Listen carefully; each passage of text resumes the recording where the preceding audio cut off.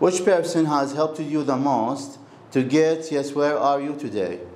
There are two people in my life who helped me in the most to improve and, and develop both academically and financially. My father was the one who helped me in the financial uh, development. He gave me a lot of hints about business and also he provided me the fund who I needed. My mother, on the other hand, was a unique friend in my life.